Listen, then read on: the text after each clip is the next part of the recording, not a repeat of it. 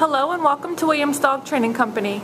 We're here today with Fred and Minnie Penny and what we're going to be demonstrating for you today on video is Minnie, Mini Penny's ability to understand and respond to her obedience commands, the corrections and motivations that we give the dogs while we're working with them, and also the training equipment that we're using. Fred is using a regular six foot training leash and he's going to keep the bulk of that leash folded neatly in his right hand, leaving his left hand free to give the correction.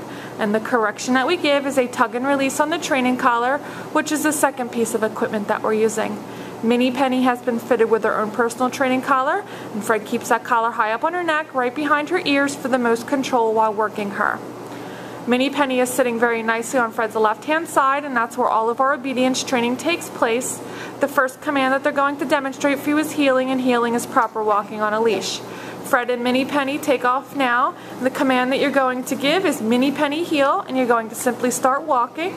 And you'll notice that Minnie Penny has been trained to walk very nicely on your left hand side at your pace, not lagging behind nor lunging ahead and pulling on that leash.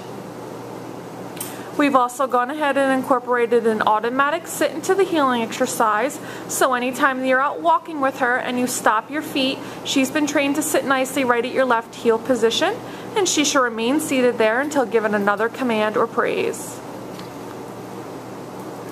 The next command they're going to demonstrate is the stay command, and that's a hand and voice command. Use the open flat of your left palm in front of her muzzle and the one word command to stay. Now when practicing your long sit stays at home, start with short time increments of about 30 seconds to a minute, and upon her success, you'll increase your intervals working up to a total of three minutes. When Fred returns back, he walks all the way around where Minnie Penny should remain seated throughout the entire time. Great job. And they're going to go ahead and demonstrate their heel sit and stay for you again. Now if anytime you're working Minnie Penny through her commands and she does not complete them appropriately, or if she displays any inappropriate behavior, such as jumping, you're going to tell her no, followed by a tug and release on that training collar if need be, and repeat the command. So Fred leaves her in another sit stay, and this time instead of returning back, they're going to demonstrate the recall or the come on command. For this command, you call her in using her name. She should get up and come in and sit directly in front of you. Very well done. And then she heels back to heel position by going around the back of you, returning to your left hand side, sitting nicely, waiting for her next command. And they're going to demonstrate that again.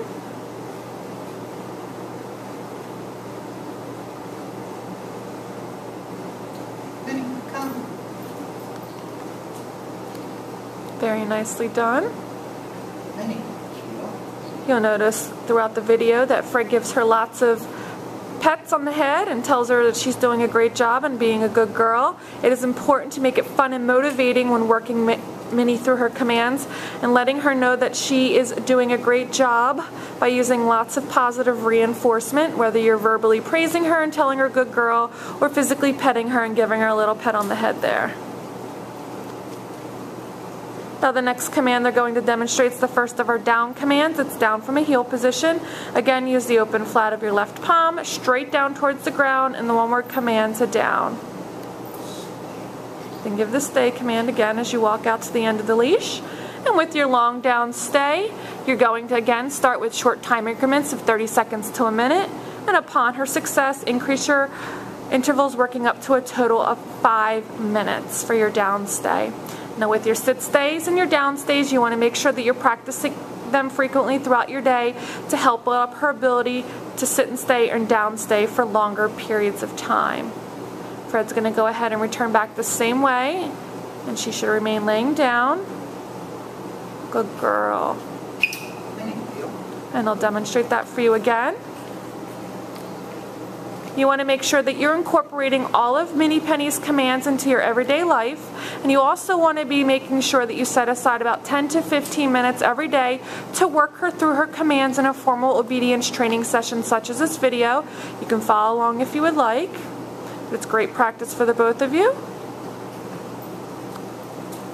And will help with the transition and her new commands and rules in the home when she gets back.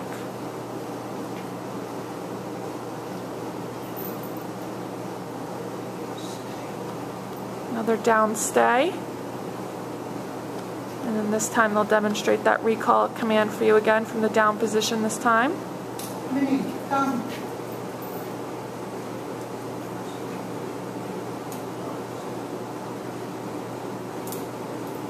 Now she didn't sit right away, so you saw Fred told her no and gave her a tug and release towards the rear to get her to sit.